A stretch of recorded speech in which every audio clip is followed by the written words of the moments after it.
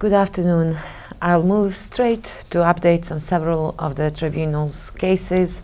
The judgment in the trial uh, for the contempt of the tribunal of Milan Tupajic, former chief of the crisis staff and president of the Serb municipality of Sokolac, will be rendered this Friday, the 24th of February at 3.30 in courtroom 1. Tupajic is accused of failing to comply with or to show good cause why he could not comply with two subpoenas in which he was ordered to testify in the case of Radovan Karadzic. At his initial appearance on the 16th of December last year, Milan Tupajic pleaded not guilty. The trial was held on the 3rd of February this year. The trial of Ratko Mladic, the former commander of the Bosnian Serb Army main staff, has been scheduled to commence on Monday, the 14th of May this year. In the same decision, the Chamber also limited the number of sitting weeks for the early stage of the trial up to the 20th of August to allow the parties more preparation time. The next status conference in this case will be held tomorrow afternoon at 3 o'clock in courtroom 3. In the case of Zdravko Tolimir, the defense rested its case yesterday, having uh, called four witnesses.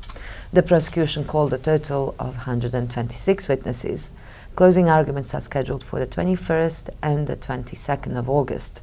Tolimir, the former assistant commander for intelligence and security of the main staff of the Bosnian Serb army, is charged with genocide, conspiracy to commit genocide, crimes against humanity, and violations of the laws or customs of war committed between July and November 95 against Bosnian Muslims in Srebrenica and Žepa. His trial began on the 26th of February 2010. Proceedings in the trial of Radovan Karadzic, Mićo Stanišić, Stojan Župljanin, as well as the trial of Jovica Stanišić and Franko Simatovic continue this week. And next is scheduled.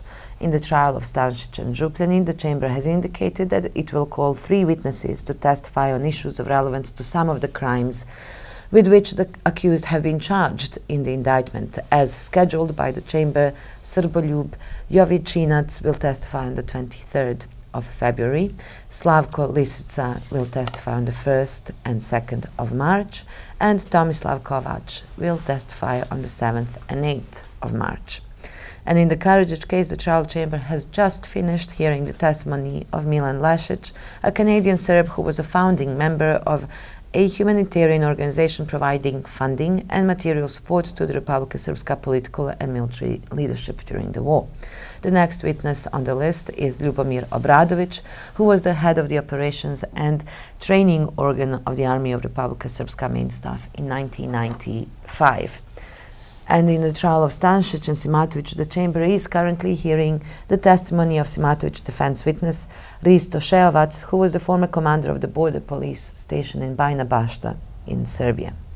That's it from me, Office of the Prosecutor. No statement uh, from our side. No statement and questions. No question. No question. No question. Thank you very much.